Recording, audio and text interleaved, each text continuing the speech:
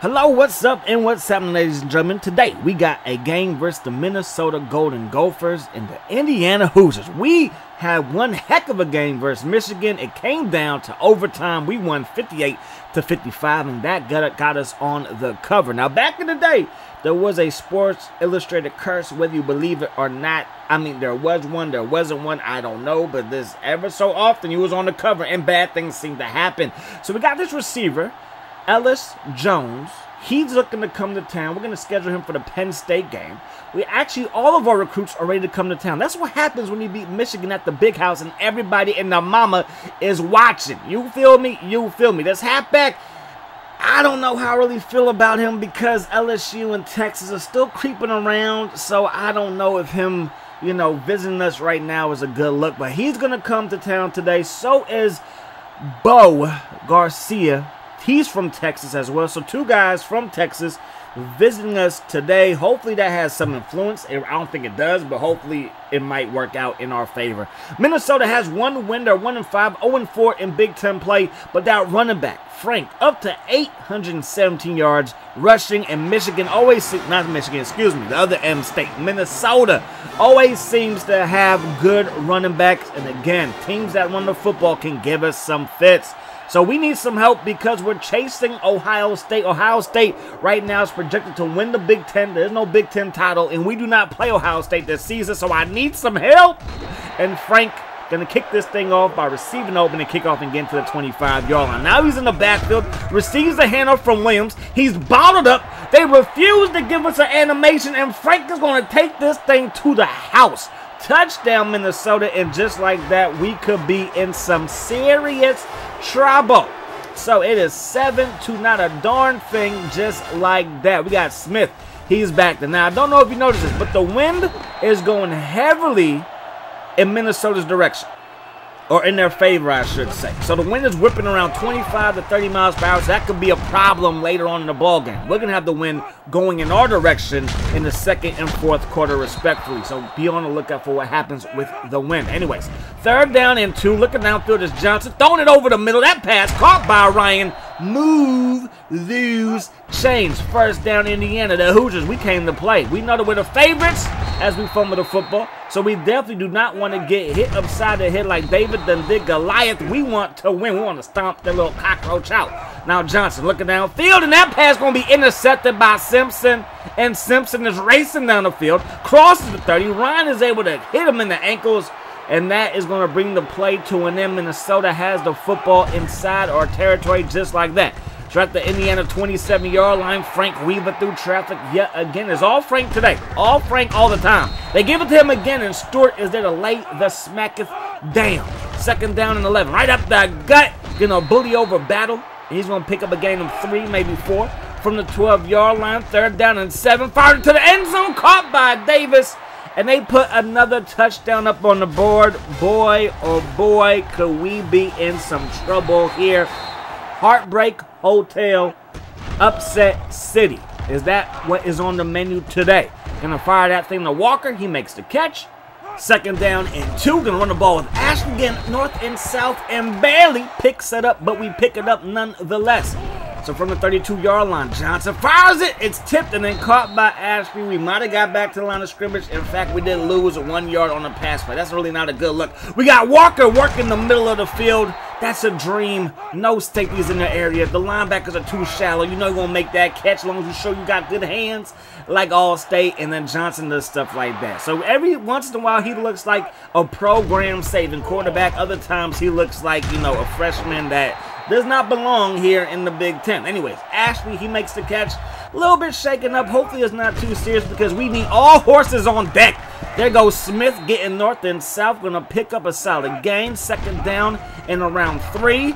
Stokes coming through when I need him to. The big tight end rumbling inside the five. And we got ourselves a first and goal from the two-yard line. Gonna run the ball with Smith. Smith gets bottled up at around the three-yard line. Second down and goal. We're going to run the ball with Ashley, who's back in the ball game, and he has a nose for the end zone. Okay, he was born sniffing and not not not that kind of end zone, but the touchdown. That's almost like touchdown. So Frank on the kick return gets it up to the 35-yard line. They're to kick off their new drive right there. Going to give it to the big fullback. Give it to the biggest shoulder pads on the offensive side of the ball. And that's exactly what they do. Then Frank trying to turn the corner, gets dropped. And that's going to bring the first quarter to an end. We're down by seven. So third down and one from the 44-yard line. They give the ball to Frank, trying to take it north and south, and he does just that. Look at the young man rumble. Now Frank getting busy again, gets tripped up. After he broke the initial tackle, picks up a gain of three, but were able to corral him. Now they throw it to White, rumbling up the field. Frazier is there to bring him down by the horse collar, but there ain't no penalty in this game. First down and 10, Frank trying to get busy. He will, still on his feet, pushes forward, and Swoops is there to drag him down. Second down and two to give it to Frank yet again. Again, just grounding and pounding, and Swoops is there to lay the lumber. Shed the block, square your shoulders, and drive through the man like a hammer through a nail. Now they're going to run the ball right there. Frank getting upfield, and Frank is turning into a nightmare. We cannot stop him. Every time that we get him on the ground, he seems to get back up and gain another yard or two. He picks up maybe one right there. Third down and one. They're going to run the ball on my defense on third down. Why not? It's a good look. It's a recipe for success. Now from the eight-yard line, they run the ball again, and Swoops gets his fourth tackle. Seems like all four was on this drive right here. Now Frank trying to turn the corner. We are there, but we get ran smooth over. And if we can't stop the ground game, already down by 14, it, it is not looking very, very good for us. But we still got time to turn things away turn things around. Not a well. What am I talking about? Ryan is open. That's what I need to be talking about. And Ryan makes the catch and gets dropped at the 44-yard line. We have got to put seven up on this drive. Three may suffice, but we were really like seven. We running the ball with Ash, turns the corner, runs a man over too because he got some power. He's built like that. Second down and nine. Johnson gonna roll out, looking downfield for Walker. That's a tough catch as he gets pummeled as the football gets there. So third down and nine. Going over the middle, caught by Ashley yet again. Another big-time catch move.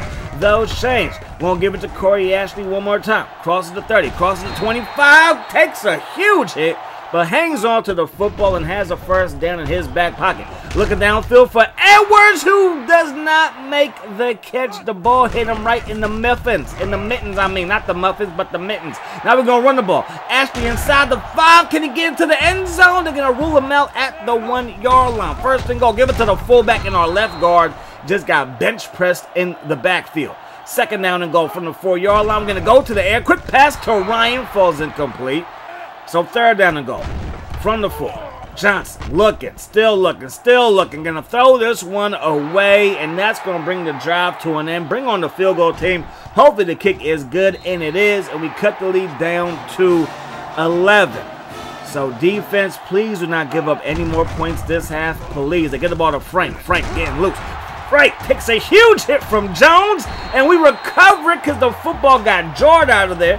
Houston jumps on top of it, and this defense then answered the call yet again. Rolling out, throwing this one to Ashley, who can't make the catch. Second down at 10. Johnson looking downfield, still looking, lets it fly to Ryan, but it's going to be broken up, and now we're looking at third down and 10 from the 35.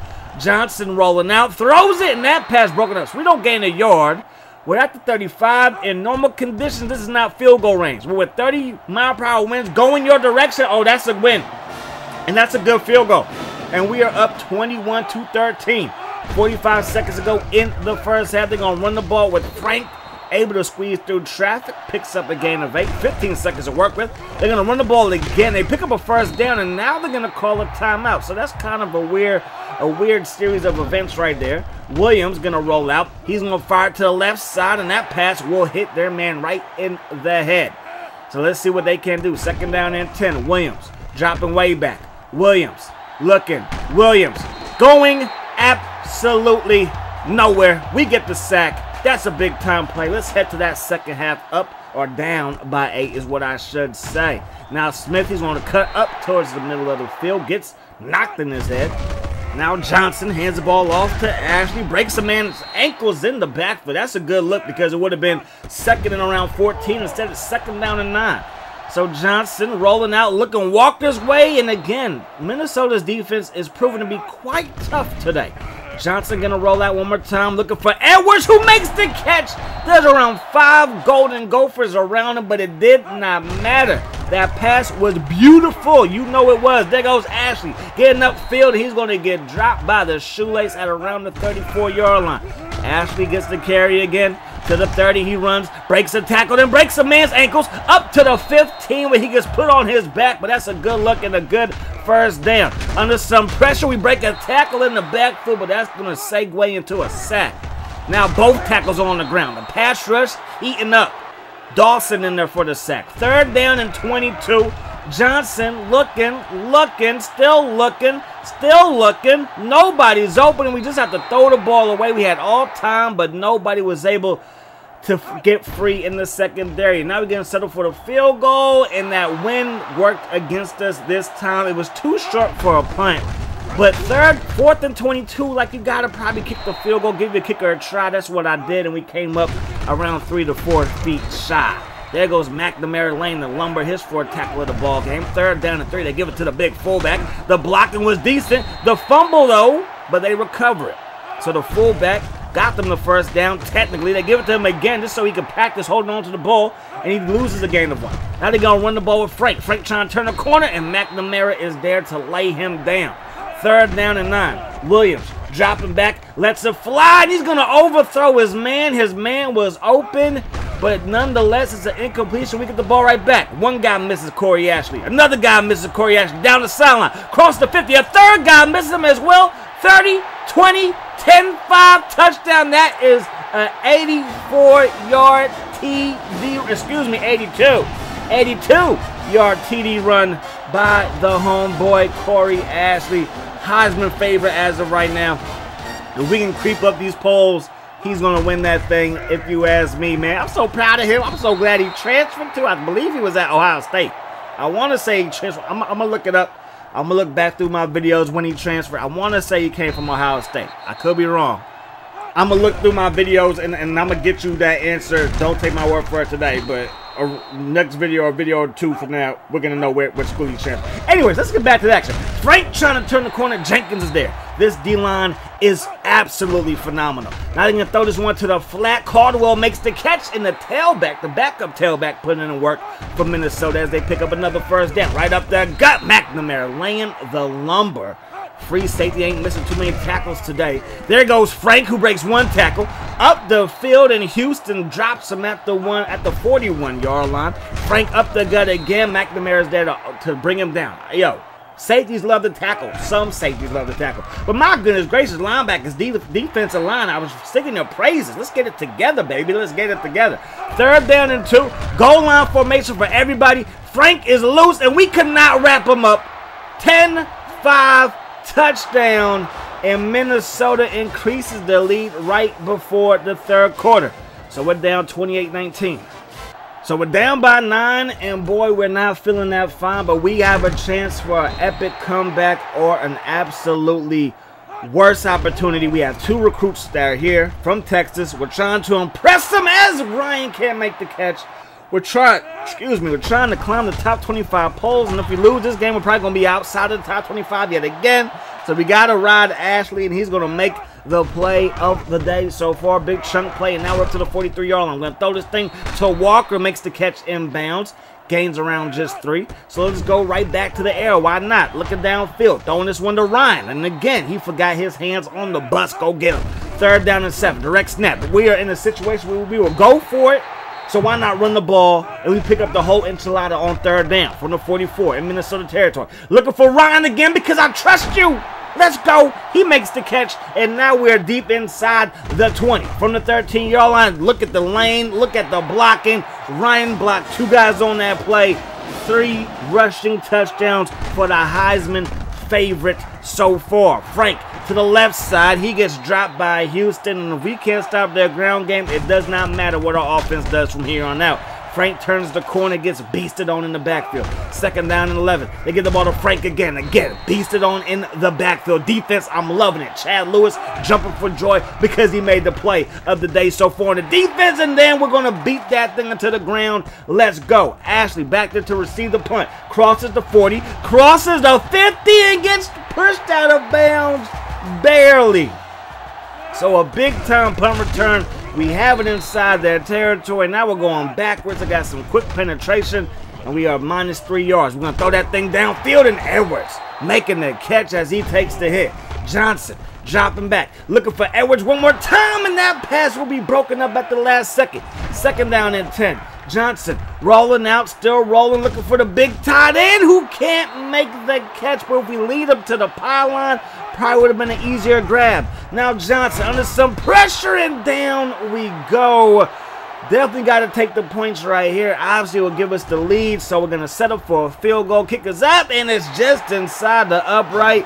If we would have missed that field goal, my goodness gracious. So we're up by one, 29-28. Frank gets the carry, gets away from McNamara, up the field. There goes Frank, crosses the 45, crosses the 50, and chased down by Houston in Minnesota, in Indiana territory, excuse me. Now they throw the ball up, and that's caught, and now they're inside the 30. So they're inching closer and closer to field goal range. Remember, the wind is going in the opposite direction, so probably got to get to the 20 to realistically try a field goal for their kicker. They're going to run the ball with Frank, and Frank he gets shut down by Jones. So can we get off the field right here? Toss play. Frank trying to turn the corner. Not going to do it as McNamara is there to bring him down.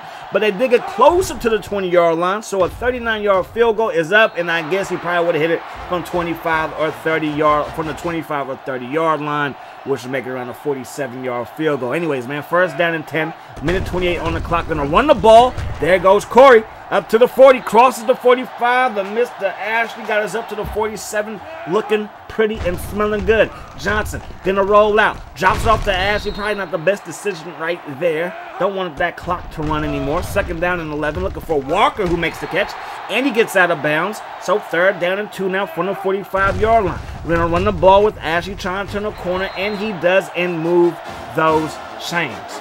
Let's go from the 39s. First down and 10. Johnson rolling out, fires it, caught by Edwards. Move those chains. Second down and 9. Ashley gonna turn the corner one more time, and Ashley stays in bounds to keep the clock moving. We're in field goal range already.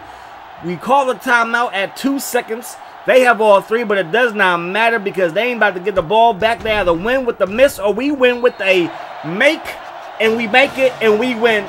They lose thank goodness. If we would have lost this game, ladies and gentlemen, my heart would have just like just, just take it out my chest. Why don't you? Because that's crazy, bro. That, that that was a crazy, crazy finish. A one point win versus a one win team. And I don't know if this is going to help us in the polls. Hopefully, some teams ahead of us lose because again, I would love to get to a big uh, bowl game. Um, but Ohio State, like I said, like I said in the beginning, Ohio State, they are the number one team right now in the Big Ten. They're ranked number three overall. And yeah, it could be a little bit of a dogfight because we don't play them. We do not play them this season, which sucks, but hey, it is what it is.